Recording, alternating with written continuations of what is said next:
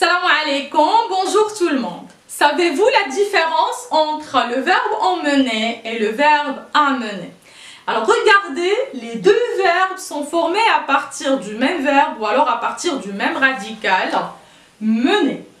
Mener veut dire en français conduire ou diriger. Alors, quelle est la différence entre ces deux verbes qu'on ne peut pas d'ailleurs employer pour dire la même chose?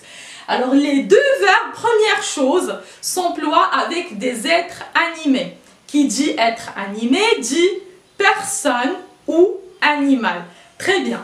Alors, emmener veut dire mener avec soi un être animé, c'est-à-dire une personne ou un animal, d'un endroit à un autre.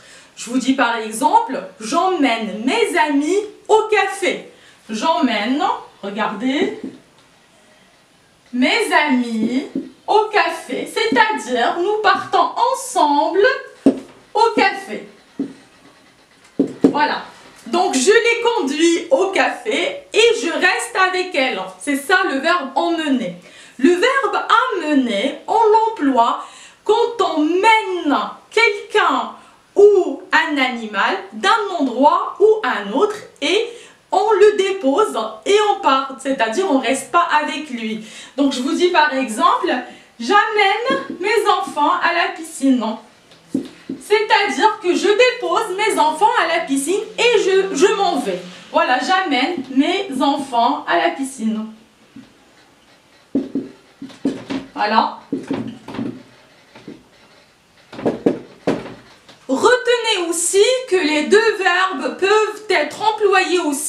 des êtres inanimés, c'est-à-dire avec des objets. Alors dans quel cas on peut les employer avec des objets?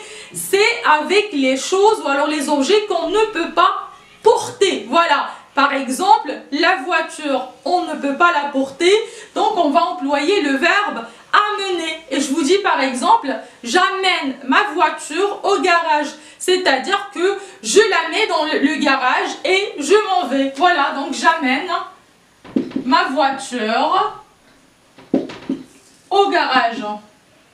Voilà.